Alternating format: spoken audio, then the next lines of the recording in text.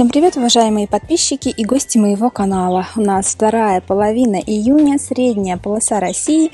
И сегодня мы с вами поговорим о том, чем и как обработать розы, как защитить их от болезней и вредителей сейчас летом во второй половине июня. Перед вами одна из моих клумб. Здесь растут розы разные, флорибунды, там на заднем плане плетистые. Они вот-вот готовятся зацвести. Бутончики уже, видите, потихоньку лопаются. В общем, скоро будет такое массовое и обильное цветение, но я вам тогда уже отдельно сниму ролик, погуляем с вами вместе по саду, покажу сорта, какие цветут, какие мне больше нравятся, какие меньше. В общем, это все потом. А сейчас давайте вам покажу препараты, которыми я буду обрабатывать розы сегодня вечером. А еще не могу вам не показать один сорт клематиса, который меня вчера просто шокировал. Мы ездили вчера за новыми саженцами, привезли разные сорта, поэтому кто спрашивал, заходите, выбирайте. И вот этот сорт Хошина Фламенко, я его когда увидела, я просто была в восторге. Посмотрите, какие огромные цветы. Вот моя рука, и он больше моей руки, ну вот не знаю во сколько раз. Шикарный сорт, шикарные цветы, цвет малиновый, просто волшебный, и они еще ароматные. Единственное, что этот клематис второй группы обрезки, Поэтому не знаю, как он у меня будет зимовать, но посмотрим. Я вот сегодня ходила с ним, смотрела, где его посадить. Ну, решила вот здесь, на этом месте, а немножко урезать газон. Здесь с розочками его посадить, если что, чтобы удобно было укрывать. Этот сорт весной у нас был, поэтому кто успел купить, поздравляю вас. Посмотрите, какая красота вырастет. Ну, а кто не успел, теперь только до следующего сезона. В этом сезоне у нас поступлений больше не будет, только вот это последнее, поэтому кто хотел, выбирайте, что есть.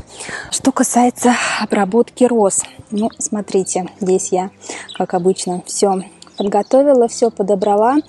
А, вообще в этом сезоне очень такие агрессивные вредители.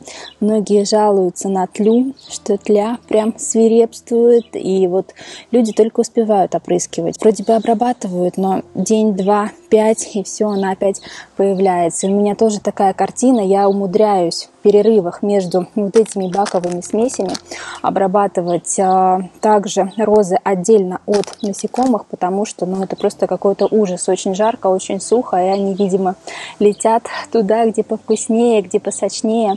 Это просто кошмар. Также трипсы в этом году на розах появились.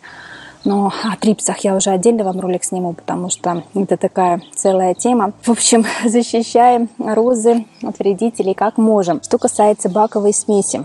Какие препараты я буду применять? Ну, во-первых, фунгицид топаз. У нас очень сухо, осадков нету. И в такие а, моменты, когда сухо, без осадков, жарко, может начать развиваться мучнистая роса. Поэтому препарат топаз очень рекомендую. Также помимо мучнистой росы он поможет нам защитить розы от ржавчины, от серой гнили, что тоже очень а, важно, особенно для тех, у кого эти болезни проскакивали. Защитите свои розы заранее, пока признаков заболеваний нет. А что касается насекомых, от насекомых я взяла вот такой а, препарат Фуфанон Нова. Он имеет такой большой спектр действия. Тут видите, все вредители прописаны стороны. Тут и клещи, и тли, и трипсы. В общем, все, что можно представить на наших несчастных розочках а, со всеми этими вредителями этот препарат борется. Для подкормки я, как обычно, взяла вот такое удобрение фертика для роз пионов. Я вам его неоднократно показывала и в прошлом году, и в этом мне оно нравится, удобно применять, удобно использовать, хороший состав, азота поменьше, фосфор, калия побольше, и тут еще много разных других а, микроэлементов, видите, и бор, медь, железо, марганец, цинк, чтобы не было хлорозов, чтобы листики были хорошие, сочные, жирненькие.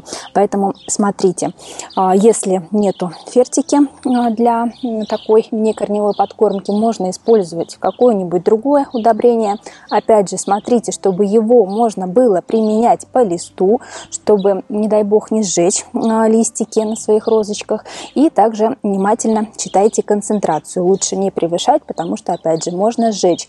И, как обычно, я добавлю циркон, когда жарко, когда сухо, да в целом в течение всего лета я его использую в баковой смеси, чтобы розочки были более устойчивые к непогоде, к жаре, к засухе, чтобы они хорошо росли и радовали, потому что у нас в средней полосе погода, она, сами знаете, какая, и без стимуляторов, к сожалению, не обойтись. А что касается пропорций, сколько чего на сколько. А, топаза я возьму 4 мл на 10 литров воды. Фуфанон Нова 2 вот этих пачечки. Это получается 13 мл на 10 литров воды. Фертику я использую одну столовую ложку. Я, знаете, беру такую немножко с горочкой. А, и циркона вот одну такую ампулку.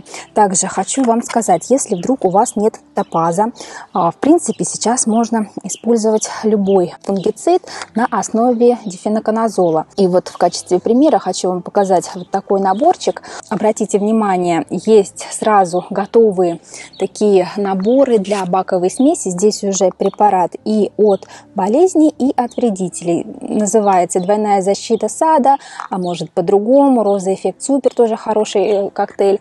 И вот здесь э, вот фунгицид чистоцвет, видите, на основе дифеноконазола. И биотлин. Можно не брать, допустим, а, вот эти вот препараты, топаз и фуфанон, а взять один такой наборчик, смешать, добавить удобрение, добавить циркон и опрыскать розы. Также на основе дифеноконазола это препараты Скор, Дискор, Райок. Опять же, роза эффект супер, поэтому смотрите, что у вас есть. Либо вот это, либо вот это. Ну, удобрение, циркон тоже обязательно добавляем. Также хочу сказать, не используйте для обработки один и тот же препарат, один и тот же фунгицид, либо инсектицид, иначе у насекомых, у болезней может выработаться привыкание, и препараты просто будут бесполезны, они не будут работать. Тот же самый дифеноконазол, его можно использовать только 2-3 раза за все лето, и желательно делать интервал. То есть, допустим, опрыскали сначала им, потом поменяли действующее вещество, потом опять им опрыскали, и так до трех раз. Ну а завершить свой ролик я хочу на этой прекрасной розочке. Посмотрите, роза акварель тоже у меня меня только-только начинает распускаться. Какая шикарная, какая красивая. Сегодня утром даже вышла, увидела, думаю, ой, красота, сейчас все бутоны распустятся и будет просто, ну, не передать словами. У меня на сегодня все. Защищайте свои розочки, опрыскивайте. Всем желаю хорошей погоды и пышного цветения. Всем пока и до встречи.